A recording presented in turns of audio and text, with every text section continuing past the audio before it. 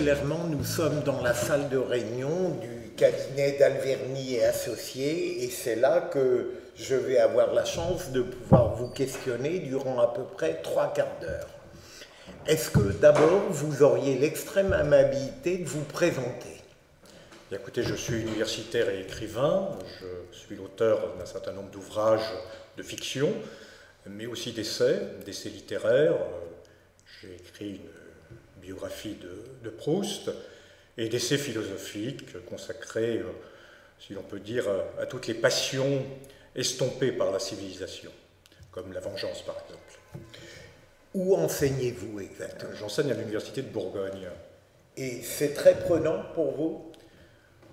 Oui, le travail universitaire est euh, de plus en plus prenant pour un certain nombre de raisons euh, pratiques qui ne tiennent pas uniquement à l'enseignement, mais à l'organisation de l'enseignement.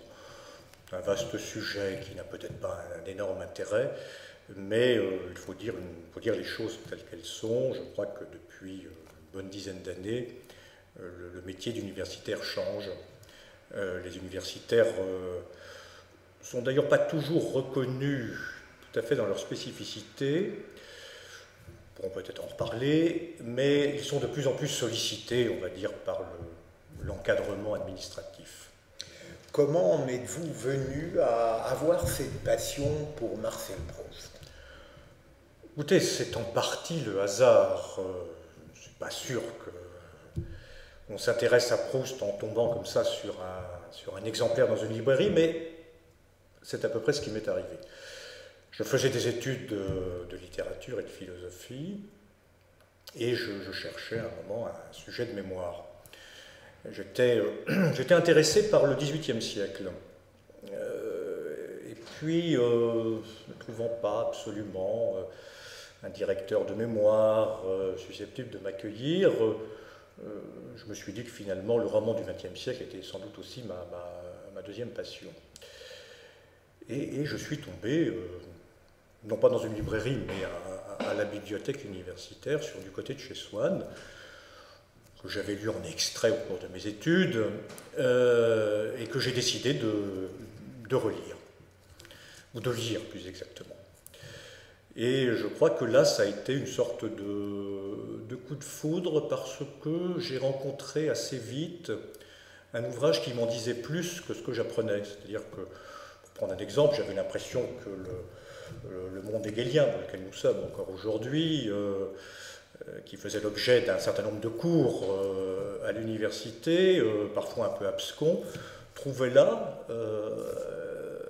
dans, le, roman proustien, trouvait là une véritable explication, une mise en scène en quelque sorte. Plus qu'une mise en scène d'ailleurs, le mot est un peu controuvé, une, une sorte de véritable réalité. En gros, le fait que nous sommes en quelque sorte condamnés à lutter pour l'existence et pour le prestige, eh bien, Proust l'a parfaitement expliqué euh, euh, dans le Salon Verdurin ou euh, dans le monde social qui est le sien. Quels sont les, les grands Proustiens d'aujourd'hui, à votre avis? Écoutez, il y a une œuvre importante qui est celle de collègue et ami Jean-Yves Tadier, qui a qui a beaucoup écrit euh, et qui, je crois, a, écrit il y a, déjà longtemps, et son livre est toujours important, hein, Proust et le roman, il y a une trentaine, une quarantaine d'années, euh, qui a permis une nouvelle édition de l'œuvre de Marcel Proust. C'est incontestablement un, Proustien, un spécialiste de Proust de très grande valeur. Vous en connaissez d'autres? Il y en a d'autres. Il y a les, les travaux d'Antoine Compagnon qui sont également intéressants. Il y a un, un, livre dont le titre est très parlant, Proust entre deux siècles, qui dit beaucoup de choses. Hein. il dit qu'en même temps, Proust est à fois un pied dans le 19e siècle, moi je dirais plutôt dans la, dans la, dans la transmission de la culture, et puis un pied dans la modernité du 20e siècle. Euh, Proust comme une sorte de pont, euh, c'est une assez bonne définition. Je ne la partage pas entièrement, mais c'est une assez bonne définition. Pour euh, bien connaître votre œuvre et notamment votre biographie de Proust, je peux dire que j'ai été un peu agacé par le, le tintamarre médiatique autour d'autres spécialistes de Proust, euh, euh, Antoven, père et fils. Est-ce qu'il n'y a pas de la part du milieu médiatique une sorte de focalisation et donc une injustice à l'égard d'autres proustiens, euh, parlons net de vous-même, qui les valent largement? Ça, c'est quelque chose euh, qui suscite un petit peu d'énervement chez moi. Est-ce que vous pouvez le comprendre? Écoutez, je, vous remercie de votre, de votre jugement et je, prends votre énervement comme une, euh, comment dire, une preuve de, confiance et de, et, de jugement euh, de qualité sur mon travail. Euh, oui, Proust est un, est un auteur qui est devenu à la mode. Je ne suis pas sûr que ce soit un auteur extrêmement lu. Hein, le premier volume est lu, mais enfin toute l'œuvre de la recherche du temps perdu n'est pas un grand succès de librairie. mais c'est devenu un auteur à la mode pour un certain nombre de raisons sur lesquelles peut-être revenir. Et donc, euh, lorsque certains auteurs ont euh, une grande audience médiatique, euh, eh bien, on peut dire qu'on parle un petit peu plus d'eux que, des autres. sans vouloir faire de comparaison absurde, vous savez, l'œuvre de Proust a failli ne pas paraître. Hein, l'œuvre de Proust a failli ne pas paraître. Nous célébrons cette année, nous sommes donc en décembre 2013, nous célébrons cette année le centenaire de la publication du premier volume.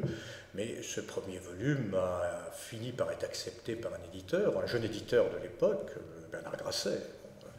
Aujourd'hui, bien sûr, les éditions Grasset sont de grandes éditions. À l'époque, c'était un jeune éditeur qui avait pratiqué une forme de marketing euh, et euh, qui a publié le livre sans l'avoir lu. Extraordinaire, comme l'un des grands romans de la littérature française et même mondiale a été publié sans avoir été lu. Mais auparavant, l'ouvrage avait été lu par quatre euh, autres éditeurs euh, qui l'avaient refusé en trouvant que c'était un roman sans intrigue, que les phrases étaient embrouillées, qu'on ne savait pas de quoi il était question. Euh, et puis Proust n'était pas dans le milieu littéraire, il n'était pas dans le Saint-Germain, dans ce qui est devenu Saint-Germain-des-Prés. Donc on le regardait un petit peu de loin. Et La recherche du temps perdu aurait très bien pu ne pas être publié si euh, finalement Bernard Grasset euh, n'avait pas existé. Heureusement, il a existé euh, à grâce de la littérature. Quelle conclusion en tirer oh, J'en tire que, que, si vous voulez, le, le, le, le monde médiatique n'est pas toujours très bon juge. Hein. Et que les œuvres, un jour ou l'autre, trouvent leur, public. Évidemment, nous sommes 100 ans après la publication de Soi, d'une époque où euh, le médiatique, le people, euh, bon, fonctionne, euh, fonctionne à plein régime. Ce n'était pas tout à fait le cas à l'époque. mais voilà, je pense que un écrivain, un intellectuel doit se tenir à ce qu'il fait et ne pas être trop affecté par les aléas, les, contingences finalement du, monde de la publicité des médias. On a beaucoup parlé de Proust ces derniers mois. Pour quelles raisons Pouvez-vous le rappeler? Alors, bon, on, en a beaucoup parlé parce que c'est l'anniversaire, le centenaire de la publication de Swann. Euh, et donc, l'édition, euh, la presse aime bien finalement les anniversaires pour, parler de, parler des écrivains ou pour parler des grands hommes. Et puis, je pense qu'il y a une deuxième raison plus, euh, en apparence plus ténue, mais beaucoup plus profonde. Euh, je crois que euh, notre époque, qui est une époque du temps, fluide, hein, de la rapidité, se, retourne, sur l'œuvre de Proust parce que c'est une, grande, une grande fable pardon, sur le temps, sur le temps qui dure, sur le temps qui revient, sur le temps humain moi, je crois que subrepticement, il y a quelque chose comme ça. Euh, parfois sans l'avoir lu, parfois en l'ayant lu euh, partiellement, les gens s'intéressent à une œuvre dont ils sentent qu'elle contient peut-être, non pas une leçon de vie, mais en tous les cas euh, une profondeur que la, fluidité actuelle du passage du temps ne permet plus d'appréhender. C'est ça. Est-ce que, à propos de l'œuvre de Proust, vous pourriez nous indiquer les différentes familles qui se sont penchées sur elle, les différences d'interprétation? Est-ce qu'on peut dire que, à propos de Proust, il y a un certain nombre de visions universitaires complémentaires, voire contradictoires entre elles, ou non? La question est difficile. Hein. Vous savez, Proust disait que les, lecteurs de son livre seraient les propres lecteurs d'eux-mêmes. Et que donc, euh, en quelque sorte, et, je dirais que c'est mon expérience, hein, euh, non pas d'un point de vue narcissique, euh, mais d'un point de vue intellectuel, d'un point de vue même quasi métaphysique, si, j'ose le mot. Alors donc, bien évidemment, pour essayer de vous répondre plus précisément, il y a eu différents types de lectures aussi bien parmi les spécialistes que, parmi, euh, je dirais, les lecteurs plus. Euh, les, lecteurs de, plaisir ou les lecteurs de, loisirs. L'un des premiers euh, spécialistes de, Proust s'appelait Henri Bonnet. Il a écrit, je crois, le premier livre, l'un des premiers livres sur Proust en 1930. C'était un philosophe. Il s'est intéressé aux questions philosophiques, à la question du bonheur, euh, à la question de la sexualité euh, dans l'œuvre de Proust. Cette veine philosophique s'est un peu éteinte, je crois qu'elle renaît actuellement. Euh, il y a une autre veine qui est une veine sociologique, une veine assez récente, mais qui avait été mise en, relief dans les années 60, je crois, par Jean-François Revel, qui avait écrit un beau livre, un peu oublié, un peu méprisé par le spécialiste de Proust, qui s'appelle Sur Proust. Euh, euh, la lecture de Jean-François Revel est une lecture tout à fait rafraîchissante, philosophique aussi, euh, mais qui, à mon avis, place Proust non seulement dans son temps, mais également dans la patte humaine. Et, rappelle que ce n'est pas l'auteur d'Histoire de Duchesse, mais que c'est l'auteur finalement de la, des tragédies humaines, en quelque sorte. Voilà. Alors il y, a des, lectures, je dirais, euh, très littéraires, très axées sur le style, euh, qui ont été des lectures universitaires à partir des années 60 et qui ont contribué bien évidemment à la, réputation de Proust, qui ont construit peu à peu la réputation de Proust comme finalement le, grand styliste, je crois que c'est ce qu'il est, hein, le, grand styliste de la littérature française, disons, moderne. Le, livre, votre livre, la biographie que vous avez écrite sur Proust, est-ce qu'elle apporte quelque chose de nouveau par rapport, pardonnez l'expression, à la doxa proustienne? Écoutez, je suis heureux que vous me posiez la question parce qu'il y a euh, autour de Proust beaucoup de malentendus, beaucoup de clichés euh, à son sujet. Et lorsque j'ai écrit cette biographie, j'avais à cœur, euh, au fond, de les, balayer, d'essayer de de m'approcher au plus près possible de ce qu'a été l'existence de l'homme. Euh, l'existence de l'homme, c'est aussi l'homme à l'œuvre, bien évidemment. Euh, l'homme, confronté à, sa création. Alors, qu'est-ce qu'il y a comme, comme clichés Ils sont très très nombreux. Peut-être commençons par le, premier qui serait de faire de Proust un auteur au fond mondain, un bourgeois mondain, euh, finalement plutôt conservateur. C'est tout le contraire. Euh, Proust était un républicain de, par sa famille. Hein. Euh, son père était d'ailleurs un républicain quasi voltairien, qui ensuite a mis un petit peu d'eau dans son vin parce qu'il était non pas membre du gouvernement, mais conseiller du gouvernement pour les, affaires d'hygiène internationale. C'était un ami très proche du président Félix Faure. Il était parfois invité au château de Rambouillet par le président. C'était un, un homme qui euh, est devenu un républicain opportuniste, comme on le disait à l'époque, hein, républicain de gouvernement. Mais ça avait été euh, radical. Euh, sa mère faisait partie de la bourgeoisie juive, totalement intégrée à la culture française, très lettrée et, je dirais, très laïque. Hein,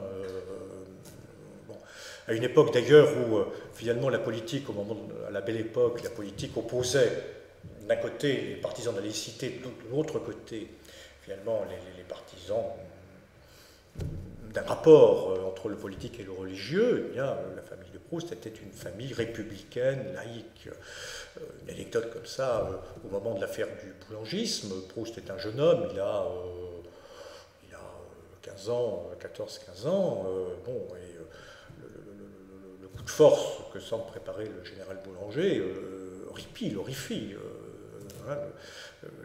la famille de Proust. Voilà, donc Proust, c'est tout, le contraire d'un conservateur. Et puis, peu à peu, il va prendre son autonomie par rapport à sa famille, il devient Dreyfusard contre la vie de son père, et c'est l'un des premiers Dreyfusards. Hein, c'est lui qui va faire signer, avec d'autres bien sûr, n'est pas le seul, mais la, pétition, euh, euh, juste après le J'accuse de Zola, pour la révision du procès Dreyfus. Hein. il obtiendra même la signature d'Anatole France, France, le seul euh, académicien Dreyfusard, tous les autres sont bien sûr anti-Dreyfusard. Proust s'intéresse à la politique, bien avant l'affaire Dreyfus, par exemple dans les années 1894-95, il y a déjà ce qu'on appelle les affaires d'Orient, euh, déjà un problème euh, en Turquie. Euh, bon, et Jaurès, à la Chambre, prône une intervention. Hein, et Proust est grâce à son père d'ailleurs à l'Assemblée, au moment où Jaurès prône l'intervention, et Proust est très très favorable à Jaurès. Puis, peu à peu, son grand homme, ça va devenir Clémenceau.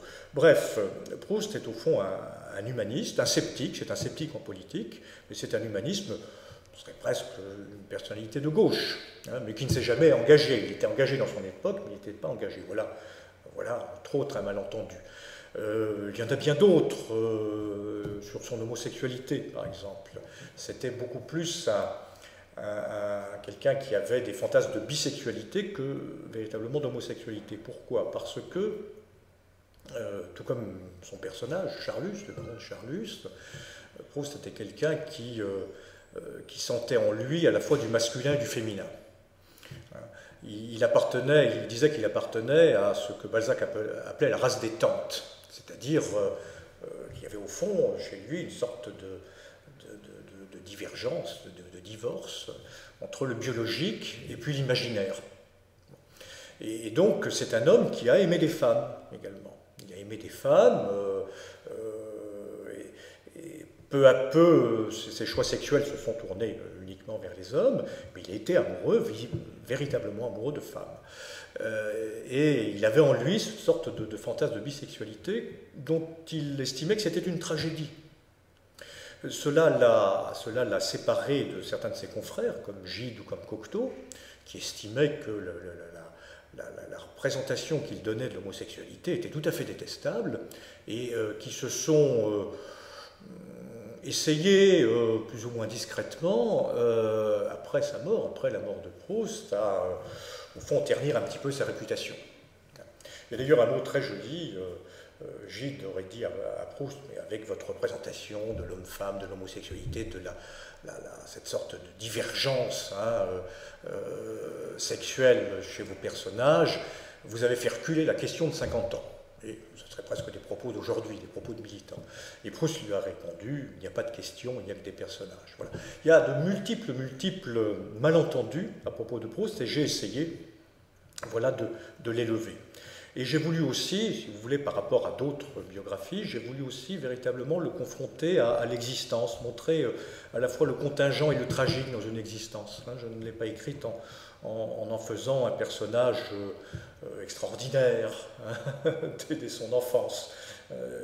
J'ai voulu aussi en montrer les ombres, montrer parfois la, la petitesse du personnage, les ombres des personnages, bien sûr éclairées par l'immense génie qu'il a été. pour tout vous dire, après la publication de ce livre, on m'a demandé d'écrire d'autres biographies. J'ai refusé tout simplement parce que je ne suis pas biographe de profession.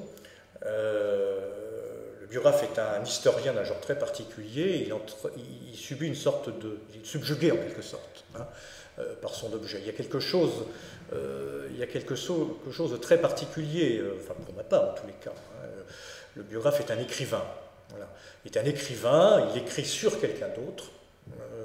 et en écrivant sur quelqu'un d'autre, il écrit sur des passions, il écrit sur une époque, il écrit sur de la politique, euh, bon, euh, euh, il écrit sur le monde, tout en étant extrêmement proche de, son personnage. C'est une relation très très très particulière qui demande à la fois de se rapprocher et de s'éloigner. C'est un, un, travail d'écriture, c'est comme ça que je l'ai conçu en tous les cas. Vous avez mis l'accent sur le Proust passionné, intéressé par la politique. Euh, est-ce qu'on peut tirer une politique de la recherche du temps perdu? Alors, tout, dépend de ce qu'on entend par une politique. Une, vision euh, du politique, oui. Une politique dans le sens un engagement, non. Euh, alors Proust lui-même, euh, j'aurais pu le dire tout à l'heure, Proust lui-même était un sceptique, oui, mais il était aussi très perspicace. Hein, au moment de l'affaire Dreyfus, par exemple, Proust très, très très vite euh, s'éloigne des, Dreyfusards, une fois que l'innocence est sinon reconnue, du moins, euh, du moins visible aux yeux de tous. Hein, il ne veut pas rester un militant. Pourquoi? Parce qu'il conçoit tout de suite, il voit tout de suite combien euh, ces militants du dreyfusisme, parfois ceux même de la 11e heure, comme il le disait lui-même, étaient en quête d'une conquête du pouvoir. Ce qui va bien sûr s'exercer au début du XXe siècle pour être dans les cabinets ministériels, voire être ministre, il faudra avoir été Dreyfusard. Ça, rappelle, enfin, ça nous rappelle à nous aujourd'hui une autre période qui est l'époque 68. Euh, euh, une dizaine d'années ou une quinzaine d'années après 68, bon, on a vu entrer euh, au pouvoir les anciens gauchistes. c'est exactement ça. Donc Proust était extrêmement sensible, hein, était extrêmement perspicace sur le devenir des engagements politiques. Alors, je disais, euh, une vision du politique dans la charge du temps perdu, quelle est-elle? Bien, au fond, c'est une vision qui, qui, qui, nous ramène euh, à une forme de, cruauté du monde social. Euh, Proust montre. Proust ne met pas directement en, scène, hein, à part l'affaire Dreyfus, mais encore une fois, l'affaire Dreyfus, dans le roman, elle, se reflète dans la conscience des individus. Hein, elle, n'est jamais euh, euh, représentée historiquement, elle est toujours représentée à travers les représentations, les, réflexions morales que se font les individus. Et euh, donc, en quelque sorte, il, nous montre la délibération, il nous montre que, au fond, l'intérêt l'emporte toujours sur la justice. C'est au fond ça qu'il nous dit. Euh, c'est un regard politique d'une grande lucidité. Alors, si je veux aller un petit peu plus loin, euh, si je me place dans l'époque, je dirais la chose suivante. Il montre en tous les cas, euh, dans le, monde social, dans la conquête du prestige, et dans le prestige il y a bien sûr le pouvoir, il montre la victoire du clan sur la caste. Alors qu'est-ce que c'est le clan? Qu'est-ce que c'est que la caste? La caste, c'est c'est au fond l'espace, l'espace social dans lequel se retrouvent à l'époque les aristocrates en particulier, ou ceux qui ont, leurs préférences, euh, et qui vivent euh, en quelque sorte dans un temps répétitif, dans un temps cyclique, qui ne s'aperçoivent pas que le clan, c'est-à-dire les, associations d'individus différents, avec des intérêts différents, euh, vont s'opposer à eux. Euh, en termes un peu hegeliens, si vous me permettez, hein, le clan, c'est celui qui. Les gens du clan, c'est ceux qui bossent. C'est ceux qui travaillent, et la caste, ce sont les maîtres, qui s'imaginent que, au fond, euh, le temps durera toujours. Et Proust nous montre donc la victoire à la belle époque, avec les débuts de la République, la Troisième République, du clan sur la caste. Et comment est-ce que le clan fonctionne? Le, clan fonctionne avec, euh, euh, pas avec des intérêts, il fonctionne avec des valeurs, ce qui est tout à fait différent. les valeurs, ce sont les opinions. Les opinions, les bonnes ou les mauvaises opinions. Les opinions qui, à un moment, permettent, au fond, de, de faire monter sa valeur à la bourse sociale. Parmi ces opinions, il y a également des opinions sur l'art. Et dans Proust, on va voir à un moment une, une mondaine qui euh, euh, qui déclare que Poussin est complètement déclassé, que le grand pain de ces deux gars, et puis à un moment, elle s'aperçoit finalement, euh, euh, dans le monde qu'elle fréquente, beaucoup de gens aiment Poussin, ou qu'un grand critique d'art a dit que Poussin était le grand peintre français, donc d'un seul coup, elle va se mettre à aimer Poussin. C'est le snobisme. Snobisme, au départ, hein, une des explications, c'est celui qui n'est pas noble, sine nobilitate. Bon.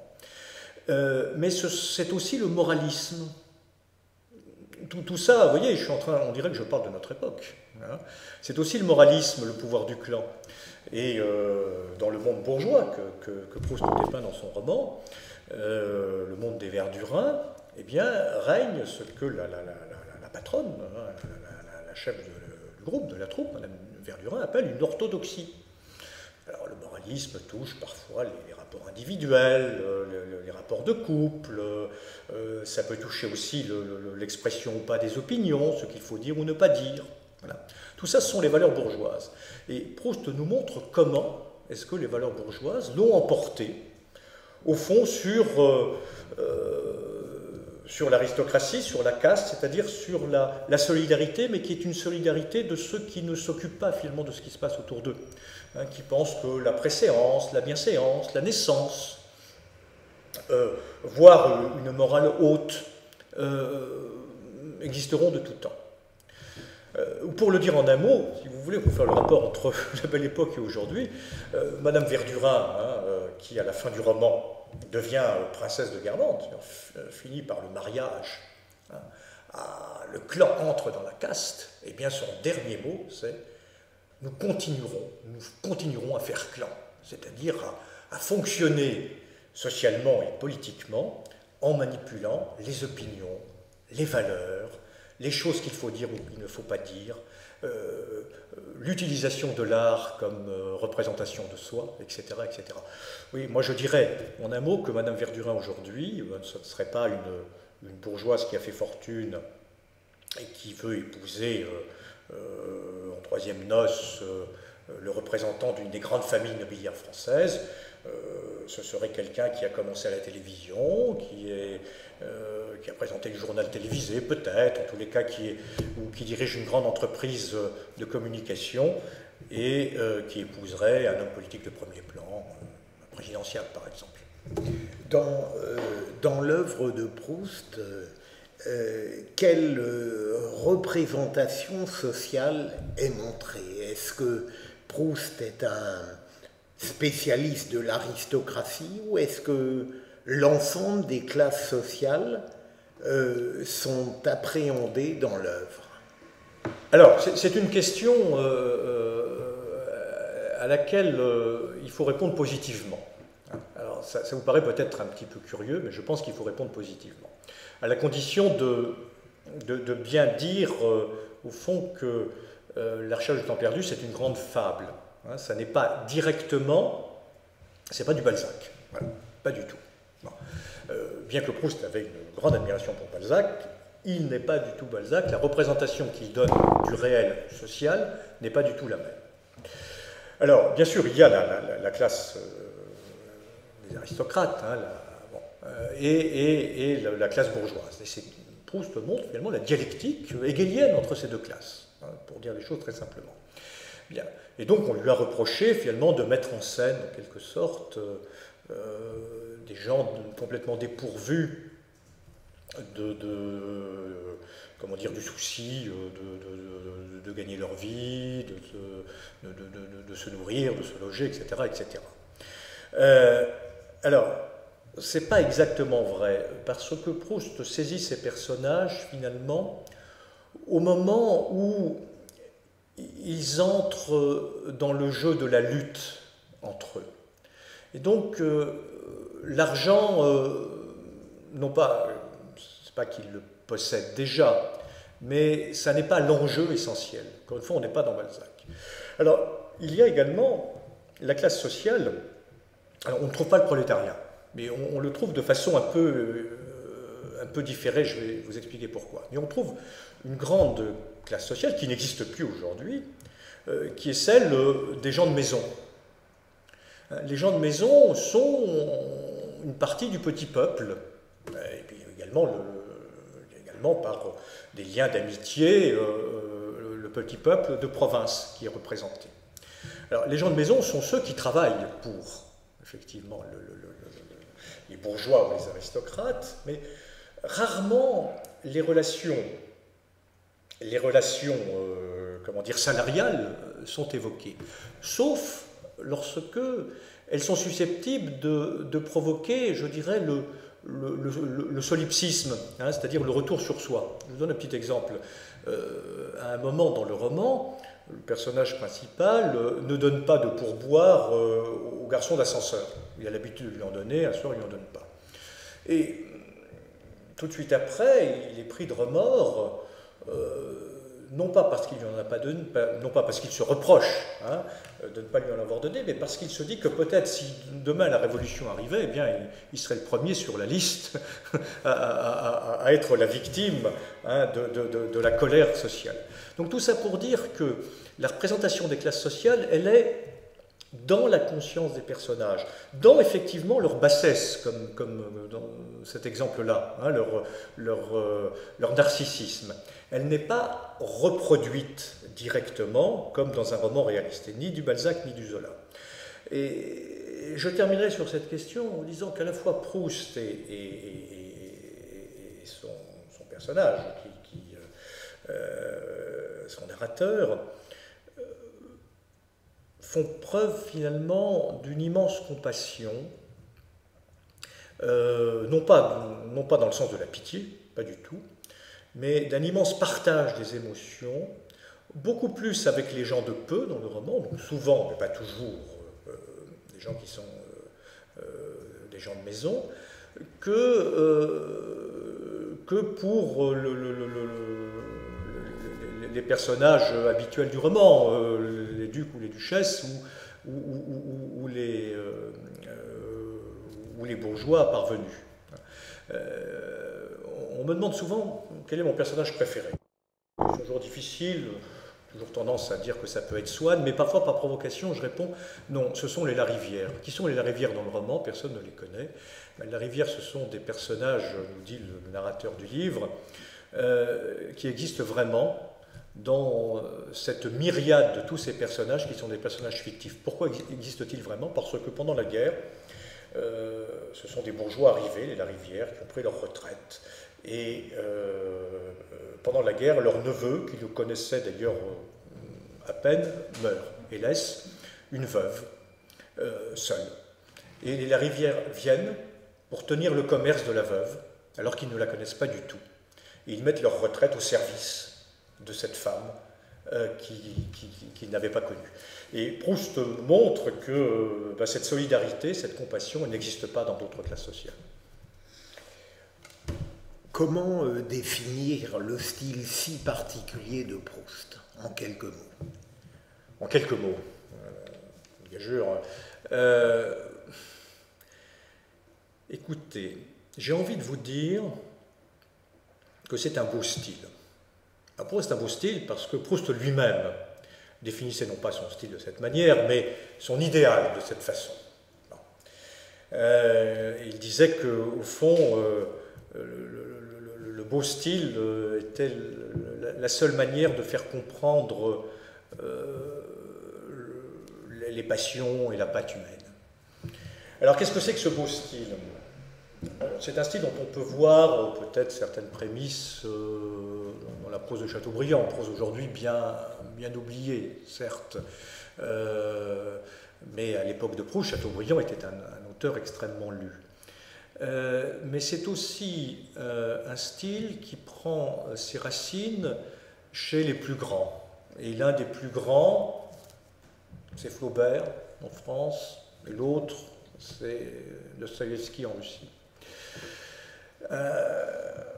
La leçon de Dostoevsky, c'est de montrer les choses selon l'effet qu'elles produisent, et non pas de les montrer elles-mêmes. La leçon de Flaubert, c'est au fond de, euh, euh, creuser les passions humaines. Euh, mais Proust reprochait à Flaubert de ne pas savoir manier les métaphores, c'est-à-dire d'avoir un style finalement trop neutre, trop plat. Donc Proust c'est en quelque sorte nourri hein, de, Chateaubriand. Euh, de Flaubert, de Dostoevsky. Qu'est-ce qu'il en a fait? Il en a fait une phrase bien particulière, qui est une phrase sans cesse en expansion, euh, et qui veut dire, euh, au fond, la totalité de la sensation dans le rapport qu'on a avec les choses. Dans la phrase de Proust, il y a tout. Il y a à la fois soi et les choses. C'est pour ça qu'elle, également, c'est une phrase qui se déploie et c'est une phrase qui s'augmente. Ce qui peut en rendre aujourd'hui, qu'on en a moins l'habitude, de son style difficile. Ça semble excéder un petit peu parfois certaines capacités du, lecteur. Moi, je m'inscris en faux contre cela parce que euh, je pense qu'on peut lire Proust. D'abord, il n'y a pas que de longues, longues phrases, et on peut les lire en faisant des pauses, hein, des pauses qui sont inscrites dans le, texte lui-même hein, par, différents petits signes. Alors, la beauté, c'est ça. Hein, c'est cette langue euh, que Proust utilise, qu'il malmène, parce qu'il pense qu'il faut malmener la grammaire, il faut malmener le, lexique, il faut malmener la syntaxe, tout en en respectant le génie. Proust se moquait, par exemple, dans son roman euh, du franglais de l'époque, des anglicismes de l'époque. Et le style pour lui, voilà, c'est cette, espèce de continuité des choses entre euh, les mots et les sensations qu'elles portent. Si je voulais parler de façon un peu savante, je dirais que c'est un style analytique. Le mot est abstrait, hein, mais il correspond bien. Si je voulais parler de façon plus sensible, je dirais que euh, il y a une belle image qui a été donnée par Anna Noailles, qui était une, amie de Proust. Elle lui disait que euh, ces phrases, c'était comme de longues soies. Elles avaient la douceur et la beauté de la soie. Voilà. Donc, donc ce style, qui peut paraître si particulier, je crois qu'il respecte euh, ce que la langue française peut produire de beau. Proust a une conception très pessimiste de l'amour et en même temps une conception exaltante de l'art. Est-ce que, à votre avis, on peut opposer dans son œuvre ces deux moments, ces deux sentiments, ces deux univers Alors, est-ce qu'on peut les opposer ou les lier les associer?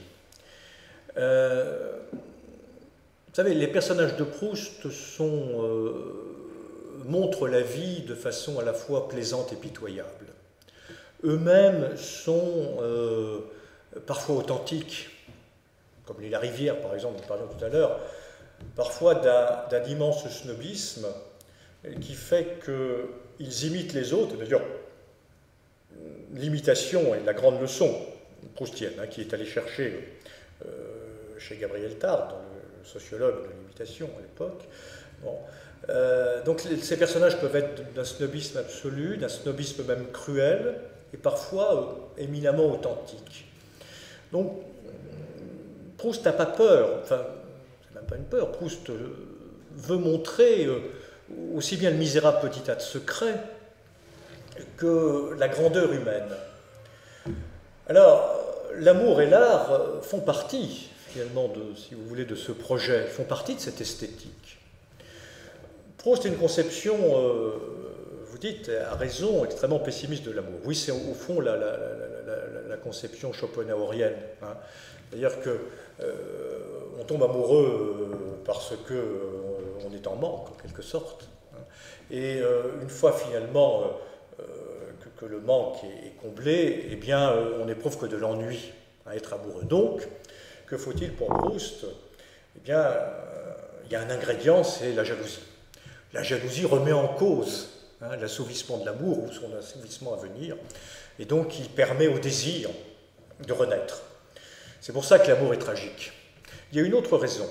Il y a une autre raison, c'est celle, je parlais au départ de notre entretien, c'est que une grande partie des personnages de Proust, pas tous, mais euh, sont à la fois, euh, euh, comment dire, sont bisexuels hein, ou, sont tentés parfois par l'homosexualité parce que leur objet est mal choisi, en quelque sorte,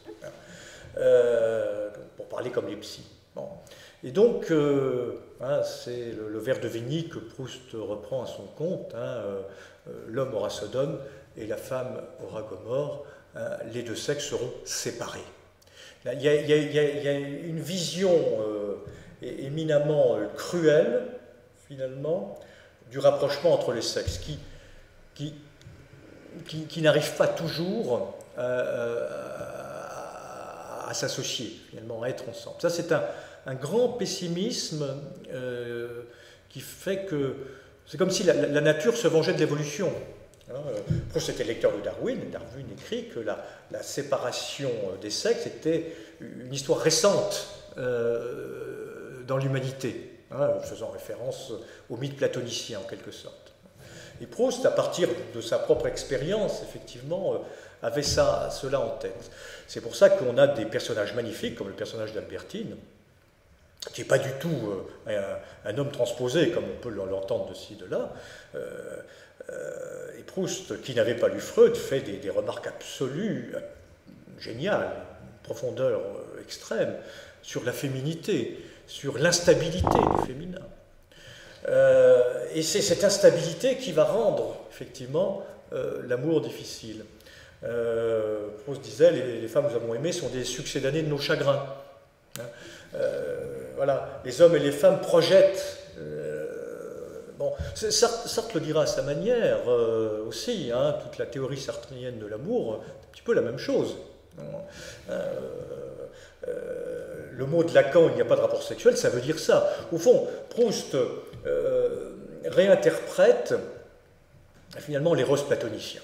Hein, l'amour est manque. Euh, si nous étions des dieux, nous n'aurions pas besoin de nous aimer. Hein, donc pour Platon, il y a une transcendance qu'il n'y a pas bien sûr pour les modernes. Euh, il n'empêche que, il n'empêche, hein, il ne faudrait pas laisser entendre le contraire, que La recherche du temps perdu est un grand roman sur la passion amoureuse. Mais la passion amoureuse est promise à l'échec. Mais c'est aussi, euh, je, profite de votre question pour le dire, un grand roman sur l'érotisme. Et ça me permet de, passer euh, euh, à votre question sur l'art. Alors, on a souvent tendance à, si vous voulez, en quelque sorte,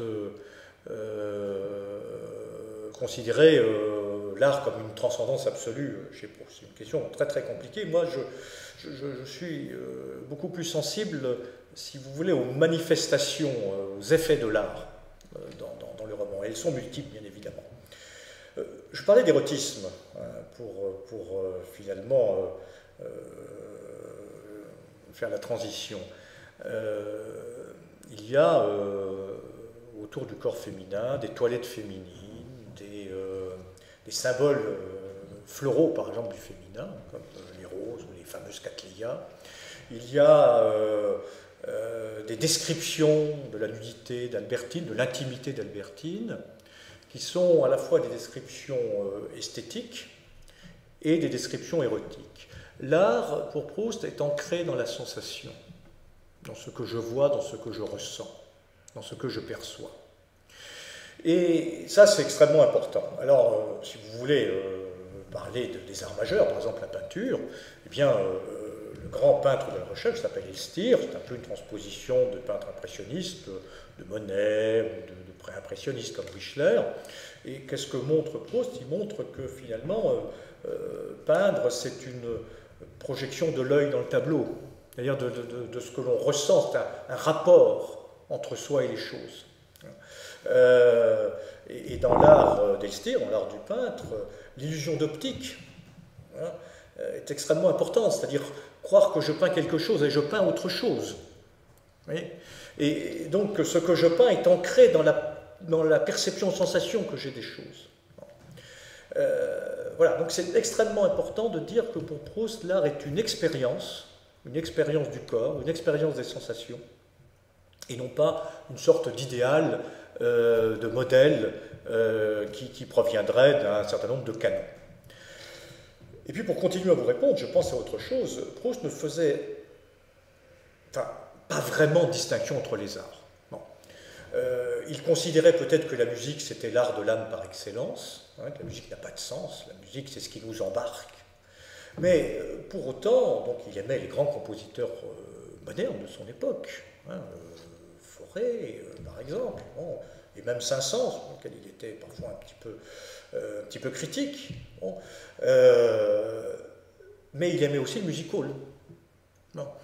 Euh, et à la fin de sa vie, Cocteau l'emmènera au bœuf sur le toit et il aimera le jazz. Bref. Proust n'était pas du tout un snob en art. Alors, vous faites peut-être aussi allusion, et peut-être que j'y arrive maintenant, sur l'art, l'écriture, hein, qui est l'histoire même du livre, La recherche du temps perdu. on, a pu, on a pu résumer ce roman en disant c'est l'histoire d'une vocation. bon, et Proust dit cette phrase, écrit cette phrase, hein, la vraie vie c'est la littérature. Qu'est-ce que ça veut dire cette phrase Vous savez, c'est comme euh, la phrase de Lacan qu'on citait tout à l'heure, il n'y a pas de rapport sexuel. Hein. Euh, ça veut dire que les sexes sont séparés en quelque sorte.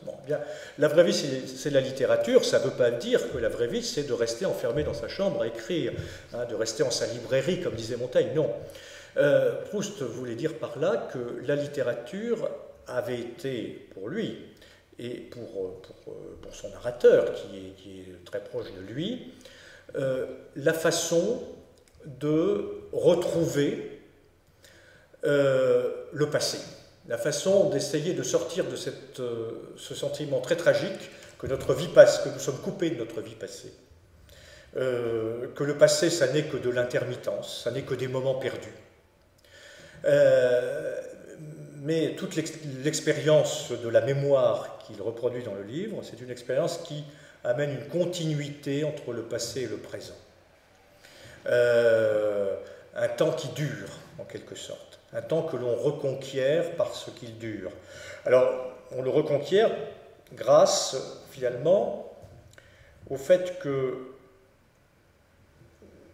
on, ressent, à travers les expériences du corps, euh, un corps euh, qui vacille sur une, sur un pavé mal euh, euh, un corps qui euh, retrouve des sensations hein, d'une tasse de thé, d'une petite madeleine quand il était enfant, que, lui donnait sa tante le dimanche. Bon, sensations gustatives, sensations thermiques, bref, à travers diverses sensations, on retrouve le passé. Bon. Mais retrouver le passé, c'est pas simplement le revoir comme ça, comme dans un éclair c'est aussi le reconstruire par les mots.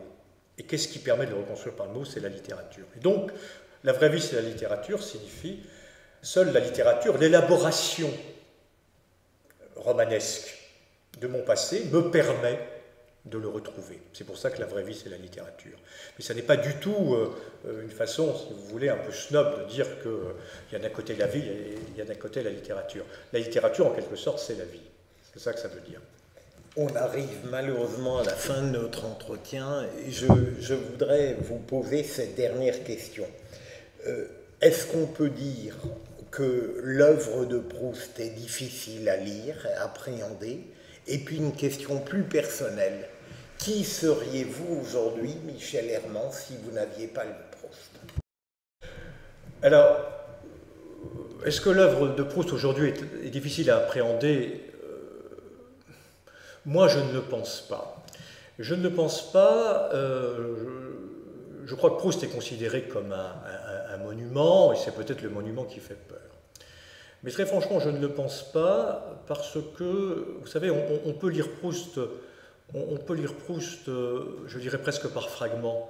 On peut lire Proust euh, finalement en sautant d'une page à une autre. Roland Barthes disait le plaisir de Proust, c'est que quand on le relit, on ne saute jamais les mêmes passages.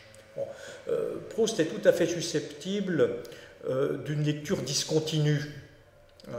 Pourquoi? Ben, Parce que c'est une fable sur le temps, et on ne lit pas le temps de la même manière selon qu'on en a 20, 25 ans, 35 ou 50 ans. Voyez Proust lui-même, d'ailleurs, a, créé, a écrit son livre.